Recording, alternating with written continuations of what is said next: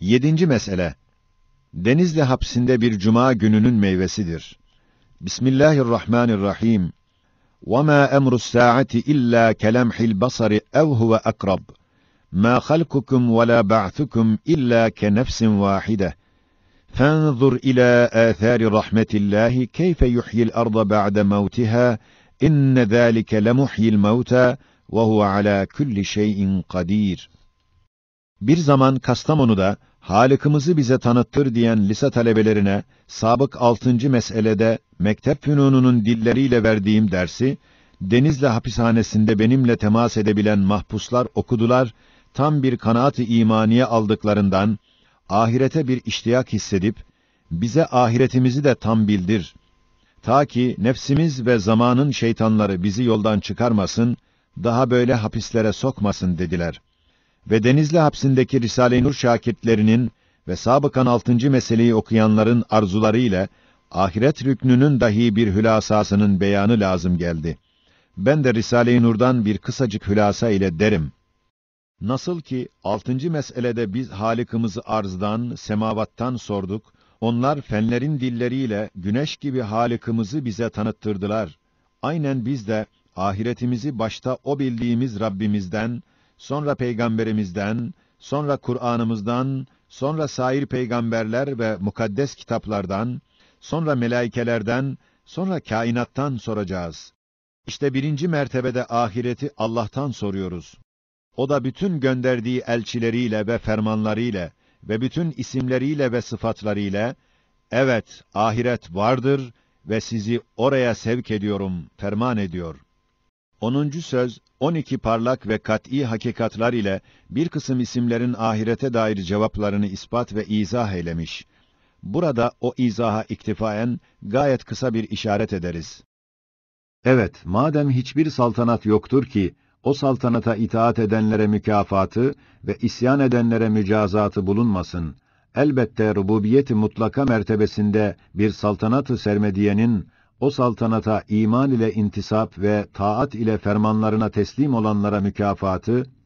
ve o izzetli saltanatı küfür ve isyanla inkar edenlere de mücazatı o rahmet ve cemale, o izzet ve celale layık bir tarzda olacak diye Rabbul Alemin ve Sultanu Deyyan isimleri cevap veriyorlar. Hem madem güneş gibi, gündüz gibi zemin yüzünde bir umumi rahmet ve ihatalı bir şefkat ve kerem gözümüzle görüyoruz. Mesela o rahmet her baharda umum ağaçları ve meyveli nebatları cennet hurileri gibi giydirip, süslendirip, ellerine her çeşit meyveleri verip bizlere uzatıp, haydi alınız, yiyiniz dediği gibi, bir zehirli sineğin eliyle bizlere şifalı tatlı balı yedirdiği ve elsiz bir böceğin eliyle en yumuşak ipeği bizlere giydirdiği gibi, bir avuç kadar küçücük çekirdeklerde, tohumcuklarda, binler batman taamları bizim için saklayan ve ihtiyat zahiresi olarak o küçücük depolarda yerleştiren bir rahmet, bir şefkat, elbette hiç şüphe olamaz ki, bu derece nazeninane beslediği bu sevimli ve minnettarları ve perestişkarları olan mümin insanları idam etmez. Belki onları daha parlak rahmetlere mazhar etmek için hayat-ı dünyeviye vazifesinden terhis eder diye Rahim ve Kerim isimleri sualimize cevap veriyorlar. El cennetu hakkun diyorlar. Hem madem biz gözümüzle görüyoruz ki umum mahluklarda ve zemin yüzünde öyle bir hikmet eli işliyor ve öyle bir adalet ölçüleriyle işler dönüyor ki aklı beşer onun fevkinde düşünemiyor. Mesela insanın bin cihazatına takılan hikmetlerinden yalnız bir küçük çekirdek kadar kuvve-i hafızasında bütün tarihçi hayatını ve ona temas eden hadsiz hadisatı o kuvvecikte yazıp onu bir kütüphane hükmüne getirip ve insanın haşirde muhakemesi için neşir olacak olan defteri amalinin bir küçük senedi olarak her vakit hatırlatmak sırrıyla her insanın eline vererek dimağının cebine koyan bir ezeli hikmet ve bütün masnuatta gayet hassas mizanlar ile azalarını yerleştiren mikroptan gergedana, sinekten simurga kuşuna, bir çiçekli nebattan milyarlar, trilyonlarla çiçekler açan bahar çiçeğine kadar israfsız ölçülerle bir tenasüp bir müvazene, bir intizam ve bir cemal içinde masnuatı bir hüsnü sanat yapan ve her zihayatın hukuku hayatını kemali mizanla veren, iyiliklere güzel neticeler ve fenalıklara fena neticeler verdiren ve Adem zamanından beri tağî ve zalim kavimlere vurduğu tokatlarla kendini pek kuvvetli ihsas ettiren bir adalet-i sermediye, elbette ve hiç şüphe getirmez ki, güneş gündüzsüz olmadığı gibi, o hikmet-i ezeliye, o adalet-i sermediye ahiretsiz olmazlar ve ölümde en zalimlerin ve en mazlumların bir tarzda gitmelerindeki akıbetsiz bir dehşetli haksızlığa, adaletsizliğe ve hikmetsizliğe hiçbir veçile müsaade etmezler diye Hakim ve Hakem ve Adil ve Adil isimleri bizim sualimize kat'î cevap veriyorlar. Hem madem bütün zihayat mahlukların elleri yetişmediği ve iktidarları dairesinde olmayan bütün hacatlarını, bütün fıtri matlaplarını bir nevi dua bulunan istidad-ı fıtri ve ihtiyacı zaruri dilleriyle istedikleri vakitte, gayet rahim ve işitici ve şefkatli bir desti gaybi tarafından verildiğinden ve ihtiyari olan daavat-ı insaniyenin, hususan havasların ve nebilerin dualarının on adetten altı yedisi hilaf-ı adet makbul olmasından kat'î anlaşılıyor ki her dertlinin ahını, her muhtacın duasını işiten ve dinleyen bir semi mücib perde arkasında var. Bakar ki en küçük bir zihayatın en küçük bir ihtiyacını görür ve en gizli bir ahını işitir, şefkat eder, fiilen cevap verir, memnun eder. Elbette ve herhalde hiçbir şüphe ihtimali kalmaz ki, mahlukların en ehemmiyetlisi olan nevi insanın en ehemmiyetli ve umumi ve umum kainatı ve umum esma ve sıfat-ı ilahiyeyi alakadar eden bekay uhreviyeye ait dualarını içine alan ve nevi insanın güneşleri ve yıldızları ve kumandanları olan bütün peygamberleri arkasına alıp onlara duasına amin amin dedirten ve ümmetinden her gün her ferdi mütedeyyin, hiç olmazsa kaç defa ona salavat getirmekle, onun duasına amin, amin diyen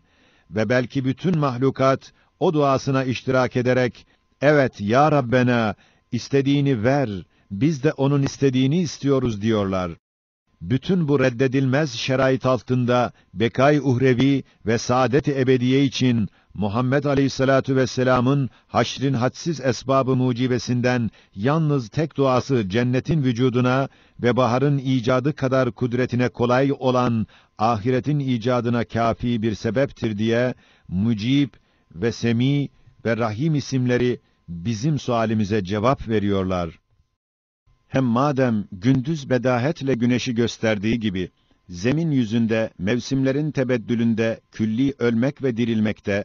perde arkasında bir mutasarrıf, gayet intizamla koca küreyi arzı bir bahçe, belki bir ağaç kolaylığında ve intizamında ve azametli baharı bir çiçek suhuletinde ve mizanlı zinetinde ve zemin sayfasında 300 bin haşr neşrin numune ve misallerini gösteren 300 bin kitap hükmündeki nebatat ve hayvanat tayfelerini onda yazar, beraber ve birbiri içinde şaşırmayarak karışık iken karıştırmayarak, birbirine benzemekle beraber iltibassız, sehivsiz, hatasız, mükemmel, muntazam manidar yazan bir kalemi kudret, bu azameti içinde hadsiz bir rahmet, nihayetsiz bir hikmet ile işlediği gibi, koca kainatı bir hanesi misüllü insana musahhar ve müzeyyen ve tefriş etmek ve o insanı halife-i zemin ederek ve dağ ve gök ve yer tahammülünden çekindikleri emanet-i kübrayı ona vermesi ve sair hayatlara bir derece zabitlik mertebesiyle mükerrem etmesi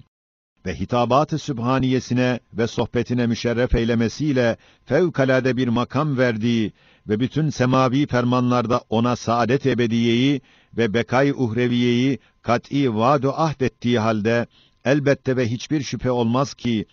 bahar kadar kudretine kolay gelen dar saadeti o mükerrem ve müşerref insanlar için açacak ve yapacak ve haşir ve kıyameti getirecek diye muhyi ve mümit ve hay ve kayyum ve kadir ve alim isimleri Halikimizden sormamıza cevap veriyorlar.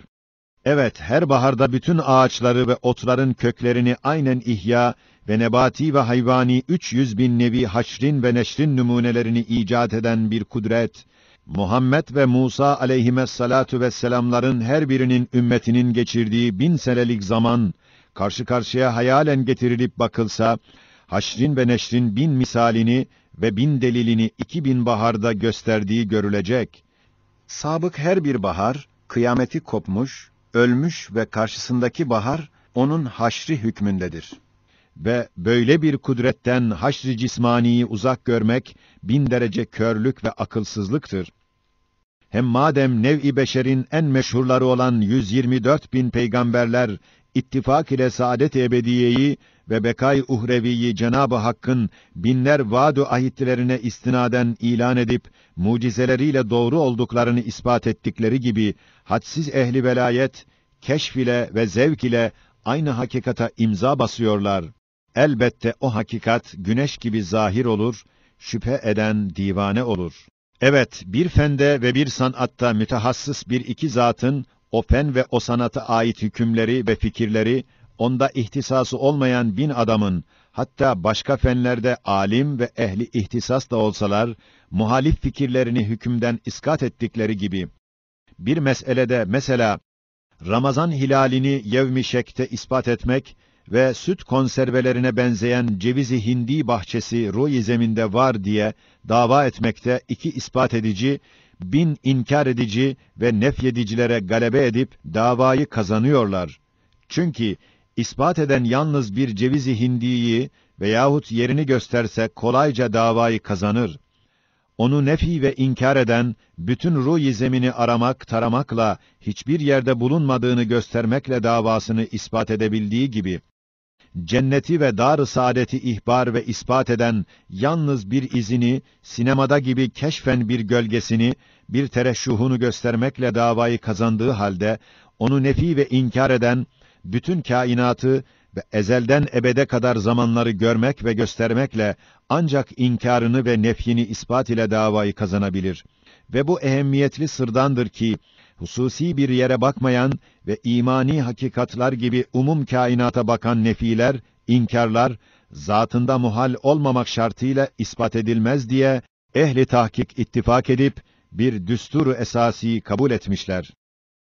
İşte bu kat'î hakikate binaen binler felsefeler'in muhalif fikirleri böyle imani meselelerde bir tek muhbir-i sadıka karşı hiçbir şüphe hatta vesvese vermemek lazım iken 120 bin ispat edici ehli ihtisas ve muhbir-i sadıkın ve hadsiz ve nihayetsiz müsbit ve mütehassıs ehli hakikat ve ashab-ı tahkikin ittifak ettikleri erkan-ı imaniyede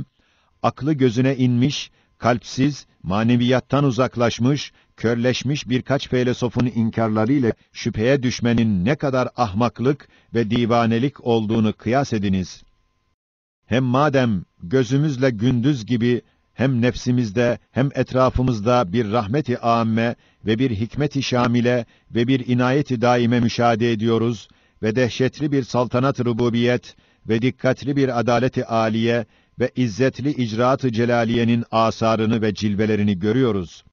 Hatta bir ağacın meyveleri ve çiçekleri sayısınca o ağaca hikmetler takan bir hikmet ve her bir insanın cihazatı ve hissiyatı ve kuvveleri adedince ihsanları, inamları ona bağlamış bir rahmet ve kavmi Nuh ve Hud ve Salih aleyhisselam ve kavmi Ad ve Semud ve Firavun gibi asi milletlere tokat vuran ve en küçük bir zihayatın hakkını muhafaza eden izzetli ve inayetli bir adalet ve وَمِنْ آيَاتِهِ أَنْ تَقُومَ السَّمَاءُ وَالْأَرْضُ بِأَمْرِهِ ثُمَّ إِذَا دَعَاكُمْ دَعْوَةً مِنَ الْأَرْضِ إِذَا أَنْتُمْ تَخْرُجُونَ Ayeti azametli bir icaz ile der. Nasıl ki iki kışlada yatan ve duran muti askerler, bir kumandanın çağırmasıyla silah başına ve vazife başına boru sesiyle gelmeleri gibi.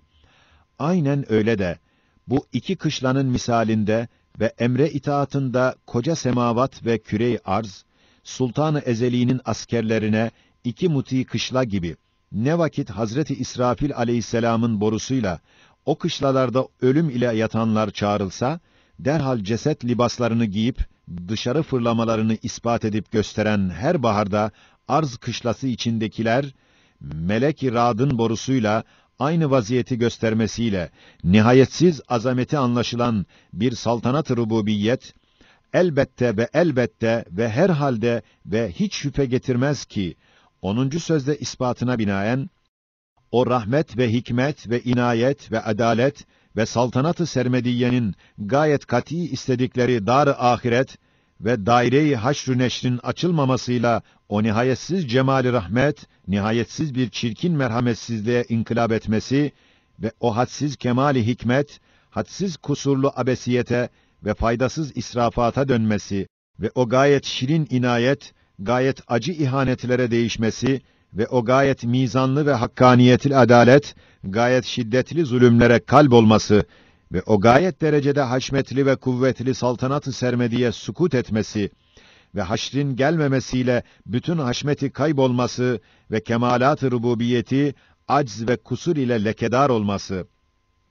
Hiçbir ciheti imkanı yok, hiçbir akıl ihtimal vermez, yüz muhal içinde birden bulunur, daire-i imkan haricinde batıl ve mümtenidir. Çünkü nazenin ve nazlar beslediği ve akıl ve kalp gibi cihazatla saadet-i ebediyeye ve ahirette beka-i daimiye iştiyak hissini verdiği halde onu ebedi idam etmek ne kadar gadirli bir merhametsizlik ve onun yalnız dimağına yüzer hikmetler ve faydalar taktığı halde onu dirilmemek üzere bütün cihazatını ve binler faydeleri bulunan istidadatını akıbetsiz bir ölümle faydasız, neticesiz, hikmetsiz bütün bütün israf etmek ne derece hilafı hikmet ve binler vaadu ahitlerini yerine getirmemek ile haşa aczini ve cehlini göstermek ne kadar o haşmeti saltanata ve o kemali rububiyete zıttır her zişur anlar. Bunlara kıyasen inayet ve adaleti tatbik eyle. İşte Halık'ımızdan sorduğumuz ahirete dair sualimize Rahman ve Hakim ve Adil ve Kerim ve Hakim isimleri mezkür hakikat ile cevap veriyorlar, şeksiz, şüphesiz, güneş gibi ahireti ispat ediyorlar. Hem madem biz gözümüzle görüyoruz, öyle ihatalı ve azametli bir hafiziyet hükmeder ki, zihayat her şeyin ve her hadisenin çok suretlerini ve gördüğü fıtri vazifesinin defterini ve esma-i ilahiyeye karşı lisan-ı hal ile tesbihatına dair sayfi amalini misali levhalarda ve çekirdeklerinde ve tohumcuklarında ve levh-i mahfuzun nümunecikleri olan kuvay hafızalarında ve bilhassa insanın dimağındaki pek büyük ve pek küçük kütüphanesi olan kuvve-i hafızasında vesair maddi ve manevi inikas aynelerinde kaydeder, yazdırır, zapt ederek muhafaza altına alır. Sonra mevsimi geldikçe bütün o manevi yazıları maddi bir tarzda da gözümüze gösterip milyonlarla misaller ve deliller ve numuneler kuvvetiyle ve izâ suhufu nüşirat ayetindeki en acip bir hakikat-ı haşriyeyi kudretin bir çiçeği olan her bahar kendi çiçek ekberinde milyarlar dil ile kainata ilan eder ve baştan insan olarak eşya fenaya düşmek ve ademe sukut etmek ve hiçlikte mahvolmak ve başta nevi beşer olarak zihayatlar idam edilmek için yaratılmamışlar. Belki bekaya terakkiyle ve devama tasaffiyle ve sermedi vazifeye istidadıyla girmek için halk olunduklarını gayet kuvvetli ispat eder. Evet, her baharda müşahede ediyoruz ki, güz mevsimi kıyametinde vefat eden hadsiz nebatat, bahar haşrinde her bir ağaç, her bir kök, her bir çekirdek, her bir tohum, ve idâ suhufu nuşrat ayetini okuyup, bir manasını, bir ferdini kendi diliyle, geçmiş senelerde gördüğü vazifenin misalleriyle tefsir ederek, o azametli hafiziyete şehadet eder. Huvel evvelu vel âhiru vel zâhiru vel batın ayetindeki dört muazzam hakikatleri her şeyde gösterip, hafiziyeti azami derecede ve haşri bahar kolaylığında ve kat'iyetinde bizlere ders verir. Evet, bu dört ismin cilveleri en cüz'iden en külliye kadar cereyan ederler. Mesela nasıl ki bu ağacın menşei olan bir çekirdek el evvel ismine mazhariyetle o ağacın gayet mükemmel programını ve icadının noksansız cihazatını ve teşekkülünün bütün şeraitini cami bir kutucuktur ki hafiziyetin azametini ispat eder. Vel ahiru ismine mazhar olan meyvesi ise, çekirdekleriyle o ağacın işlediği bütün fıtri vazifelerinin fihristesini ve amellerinin listesini ve hayatı saniyesinin düsturlarını ihtiva eden bir sandukçadır ki azami derecede hafiziyete şehadet eder. Vallahiru ismine mazhar olan o ağacın sureti cismaniyesi ise öyle tenasüplü ve sanatlı ve süslü bir hulle, bir libas ve ayrı ayrı nakışlar ve zinetler ve yaldızlı nişanlar ile tezyin edilmiş, güya yetmiş renkli bir huri elbisesidir ki, hafiziyet içinde azameti kudret ve kemali hikmet ve cemali rahmeti gözlere gösterir. Vel batin ismine ayne olan o ağacın içindeki makinesi ise öyle muntazam ve mükemmel ve mucizatlı bir fabrika, bir tezgah, bir kimyahane ve hiçbir dalı ve meyveyi ve yaprağı gıdasız bırakmayan mizanlı bir kazanı erzaktır ki hafiziyet içinde kemali kudret ve adalet ve cemali rahmet ve hikmeti güneş gibi ispat eder. Aynen öyle de kürey arz senevi mevsimler cihetinde bir ağaçtır. İsmi evvel cilvesiyle güz mevsiminde hafiziyete emanet edilen bütün tohumlar ve çekirdekler bahar çarşafını giyen zemin yüzünün milyarlar dal, budak, meyve veren ve çiçek açan ağacının teşkilatına dair ilahi emirlerin mecmuacıkları ve kaderden gelen düsturların listeleri ve geçen yazın işlediği vazifelerin küçücük sayfi amelleri ve defteri hidematıdır ki bilbedahe bir Hafiz-i Zülcelal vel ikramın hadsiz kudret, adalet, hikmet, rahmet ile iş gördüğünü gösteriyor. Ve senevi zemin ağacının ahiri ise ikinci güzde o ağacın gördüğü bütün vazifelerini ve Esma-i İlahiye'ye karşı ettiği bütün fıtri tesbihatlarını ve gelecek bahar haşrinde neşr olabilen bütün sahayif amallerini zerrecik ve küçücük kutucukların içine koyup Hafiz-i Zülcelal'in dest hikmetine teslim eder. Huvel ahiru ismini hadsiz dillerle kainat yüzünde okur. Ve bu ağacın zahiri ise haşrin 300 bin misallerini ve emarelerini gösteren 300 bin külli ve çeşit çeşit çiçekler açıp hadsiz rahmaniyet ve rezzakiyet ve rahimiyet ve kerimiyet sofralarını sererek zihayatlara ziyafetler vermekle huve zahiru isminin meyveleri, çiçekleri, taamları sayısınca lisanlarıyla zikredip medhü sena eder, gündüz gibi ve ila suhufu nuşiret hakikatını gösterir. Bu haşmetli ağacın batını ise hadsiz ve hesaba gelmez muntazam makineleri ve mizanlı fabrikaları kemali dikkat ve intizamla işlettiren öyle bir kazan ve tezgahtır ki,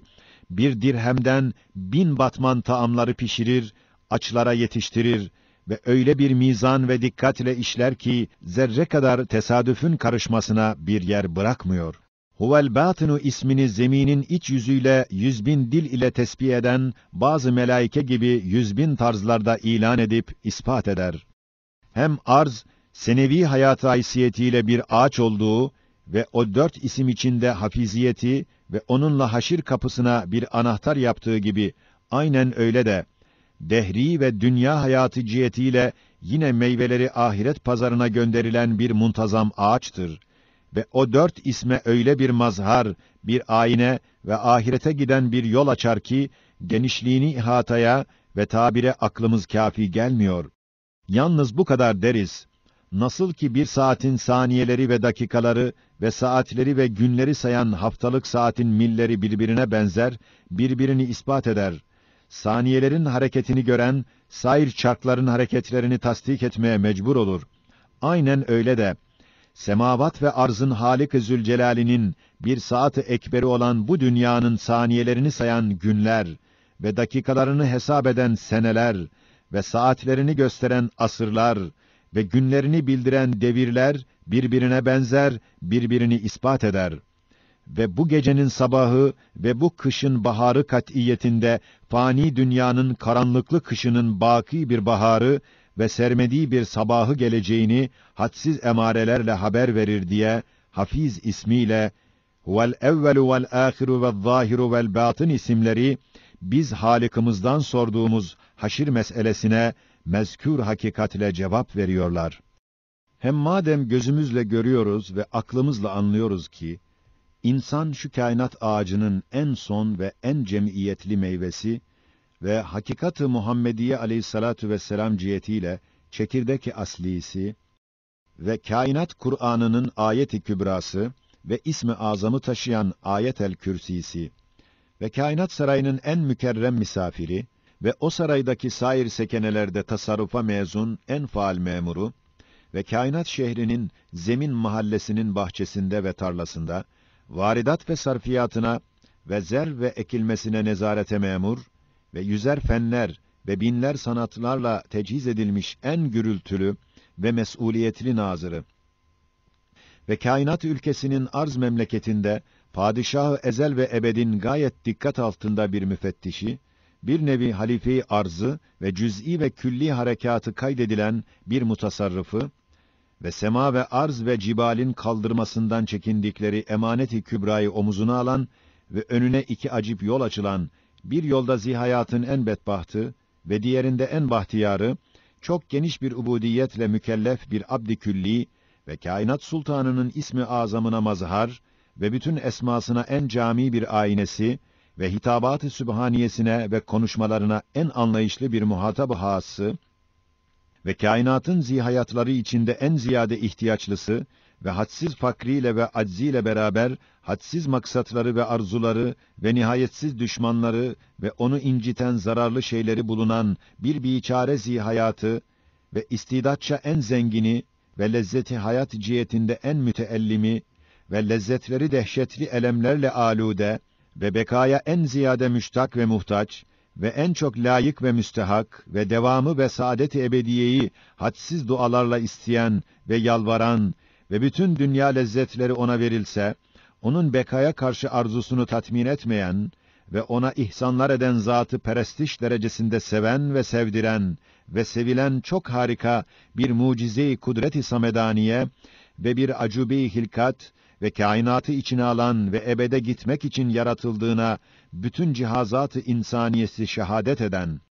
böyle yirmi külli hakikatlar ile Cenab-ı Hakk'ın hak ismine bağlanan ve en küçük zihayatın en cüz'i ihtiyacını gören ve niyazını işiten ve fiilen cevap veren Hafiz-i Zülcelal'in Hafiz ismiyle mütemadiyen amelleri kaydedilen ve kainatı alakadar edecek efalleri o ismin katibin-i kiramlarıyla yazılan ve her şeyden ziyade o ismin nazarı dikkatine mazhar bulunan bu insanlar elbette ve elbette ve her halde ve hiçbir şüphe getirmez ki bu yirmi hakikatin hükmüyle insanlar için bir haşr neşir olacak ve hak ismiyle evvelki hizmetlerinin mükafatını ve kusuratının mücazatını çekecek ve hafiz ismiyle cüz'i külli kayd altına alınan her amelinden muhasebe ve sorguya çekilecek.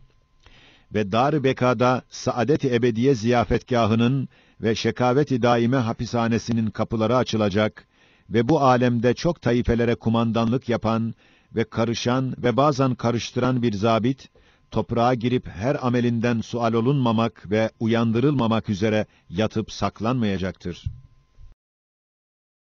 Yoksa sineğin sesini işitip hakkı hayatını vermekle fiilen cevap verdiği halde gök gürültüsü kuvvetinde bekaya ait hadsiz hukuku insaniyenin mezkür 20 hakikatlar lisanları ile edilen ve arşı ve ferşi çınlatan dualarını işitmemek ve o hadsiz hukuku zayi etmek ve sinek kanadının intizamı şehadetiyle sinek kanadı kadar israf etmeyen bir hikmet, bütün o hakikatlerin bağlandıkları insani istidadatı ve ebede uzanan emelleri ve arzuları ve o istidat ve arzuları besleyen kainatın pek çok rabıtalarını ve hakikatlarını bütün bütün israf etmek öyle bir haksızlıktır ve imkan haricinde ve zalimane bir çirkinliktir ki hak ve hafiz ve hakim ve cemil ve rahim isimlerine şehadet eden bütün mevcudat onu reddeder. Yüz derece muhal ve bin vecihle mümtenidir derler. İşte biz Halık'ımızdan haşre dair sorduğumuz suale Hak, Hafiz, Hakim, Cemil, Rahim isimleri cevap verip derler. Biz hak ve hakikat olduğumuz gibi ve hem bize şehadet eden mevcudatın tahakkuku misüllü haşir haktır ve muhakkaktır. Hem madem daha yazacaktım, Fakat güneş gibi malum olmasından kısa kestim. İşte geçmiş misallerde ve mademlerdeki maddelere kıyasen, Cenab-ı Hakk'ın yüz, belki bin esmasının, kainata bakan isimlerinin her birisi, nasıl ki mevcudattaki ayne ve cilveleriyle müsemmasını bedahetle ispat eder, aynen öyle de haşri ve dar ahireti de gösterirler ve katiyetle ispat ederler. Hem nasıl Halikimizden sorduğumuz sualimize, o Rabbimiz bütün fermanlarıyla ve nazil ettiği bütün kitaplarıyla ve müsemma olduğu ekser isimleriyle bize kutsi ve kat'î cevap veriyor. Aynen öyle de melaikeleriyle ve onların diliyle daha başka bir tarzda dedirir. Sizin zamanı Adem'den beri hem ruhanilerle hem bizimle görüşmenizin yüzer tevatür kuvvetinde hadiseleri var ve bizim ve ruhanilerin vücutlarına ve ubudiyetlerine delalet eden hadsiz emare ve deliller var ve biz ahiret salonlarında ve bazı dairelerinde gezdiğimizi birbirimize mutabık olarak sizin kumandanlarınız ile görüştüğümüz zaman söylemişiz ve daima da söylüyoruz. Elbette bu gezdiğimiz baki ve mükemmel salonlar ve bu salonların arkalarında tefriş ve tezyin edilmiş olan saraylar ve menziller hiç şüphemiz yoktur ki gayet ehemmiyetli misafirleri o yerlerde iskan etmek üzere bekliyorlar. Size kat'î beyan ediyoruz diye sualimize cevap veriyorlar.